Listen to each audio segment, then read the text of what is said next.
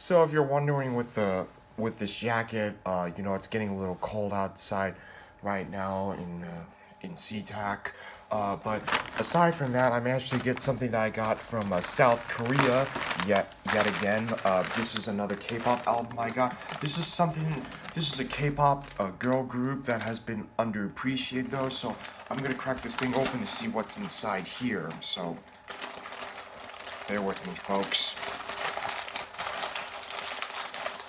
Doing my best I can.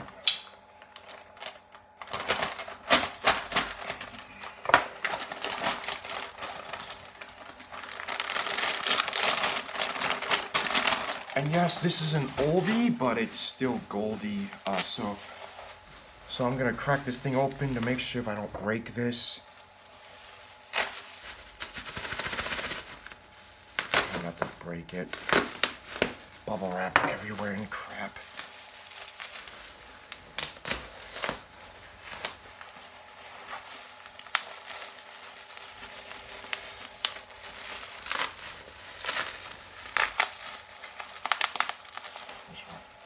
I you. I don't want you. Alright, I'm almost there. I'm trying my best not to have this bubble wrap stronger.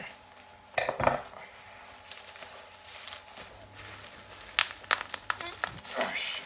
Hold on. Yeah, I got the full set right here, and I'm trying not to break it. Very. Oh. Oh, Jesus. Jesus. Oh, holy shit. oh god, uh, I got a, I got a brown rice tea green. Uh, this is came from the Secret House, uh, from the Amazon buyers. Uh, you know, they always give out stuff like this. And I managed to get some of the postcards right here, which is kind of cool. Uh, this is uh, Gyuri, I think. And here is, uh, here's the, here's the pre-debut of the fromis_9. And this is from a Fun Factory. This is an old K-pop album, but I managed to get it at a. But this is this is old. That came out like two to two years ago, but it's worth picking it up. So here's what it looks like right here.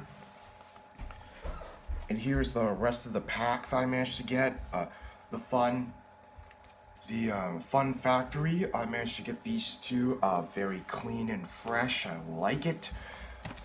So this isn't much of an so this is all I'm gonna have to show you guys. This isn't really a lot, you know, whenever I...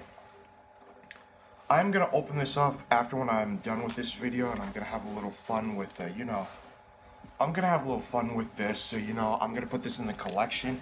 It's pretty big. Uh, you know, uh, fromis_9 is a very underappreciated group, but since when they're being, uh, in the new studio with Pledis Entertainment, I had a lot of negative negative expectations about the company after what they did with Pristin and after school. But since when they got their first win, I was like, okay, I hope I hope you guys learn learn your lesson from this because this is how you this is how you do a comeback done right. Uh, like make sure you don't overlap it into bigger groups because they sometimes take too much of the win. Just make sure the bigger groups aren't there though. So that's that's a bit of that's a bit, bit of an oversight right there. So the, that's all I'm gonna have to show you guys for this video. Uh, I had to make this a little bit shorter just to, because I gotta go. I gotta go somewhere else pretty soon, which I'm not gonna tell you. So I hope you guys enjoyed the video. What do you guys think? Let me know in the comments below. Like, favorite, share, subscribe, hit the notification bell, comment below if you have any questions. So I might be do, I might be doing more videos like this in the future, buying more K-pop albums, buying more stuff. Like I'm gonna buy another Twice album pretty soon like I made a video that I did last uh, Friday. So I'll see you guys next time. Until then, and peace the fuck out.